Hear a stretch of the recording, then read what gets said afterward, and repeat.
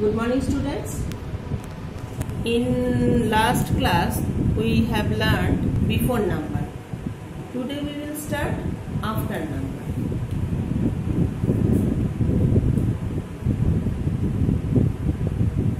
You know hundred tens ones. Okay.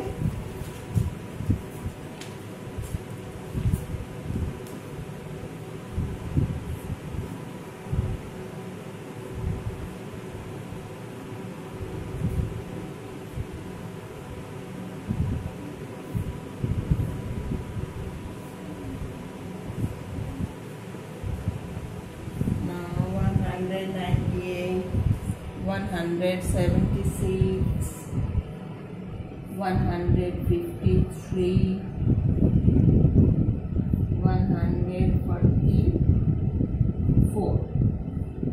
Now after number is very simple.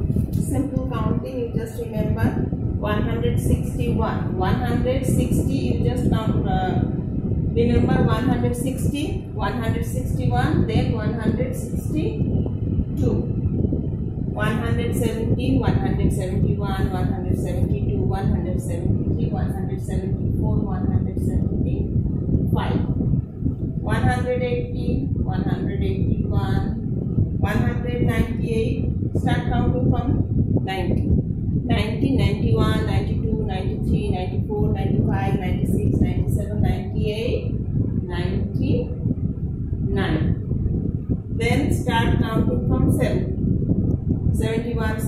72, 73, 74, 75, 76, 77. Like 153, 154, 144. You start counting 40, 41, 42, 43, 44, then 45. Okay. Now it's your class 1.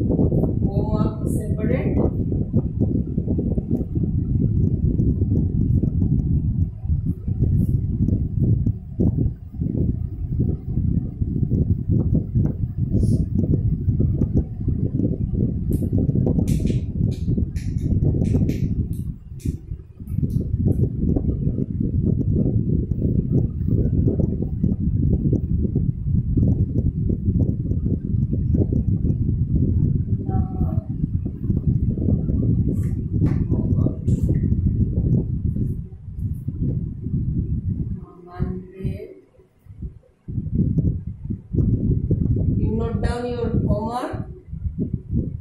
166, 179, 189, 154, 184, 199 and last one is 163 now it's your homework.